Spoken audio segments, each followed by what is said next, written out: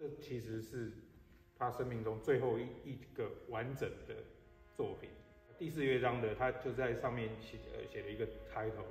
叫做呃一个艰困的决定。然后他，然后他下面写说一定非得如此吗？我觉得呃对我们现在的状况来说，好像是。不太容易的决定是，那我们在完成 Bartle 之后，我们到底接下来是要走往什么样的方向走？那这也是一个呃不太容易的决定。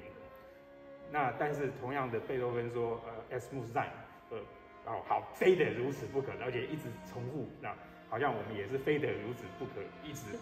为了音乐这样子一直走下去这样子。所以就是说米拉降降拉，然后。它听起来就像呃，mus s design 是这样子的提问，然后回应的时候就小印就哎都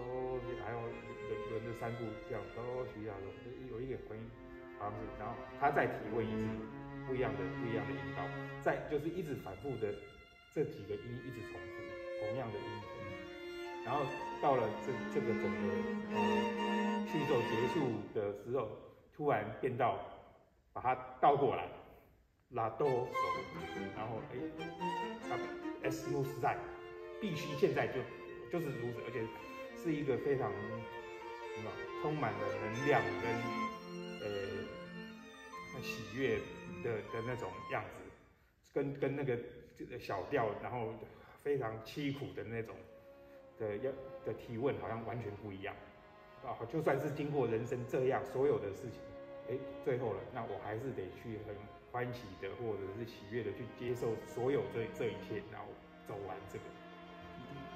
基本上是贝多芬看破人生的。对对对。在一些地方，呃，对我而言就是会，哎，是 Bartok 吗？因为它有一些和声的东西，或是它比较尖锐，你其实就是会想到说啊，他受耳机之苦。然后他那个反差跟他那个得到的那个快乐的东西，他他其实就是有这种很大的性格上面的对。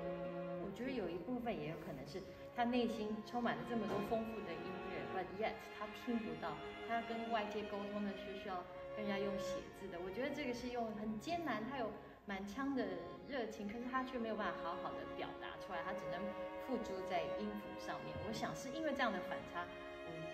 我我自己也觉得，我很同意欧阳老师，就完全显现在他的音乐里面，必须要很不同的角色兑换。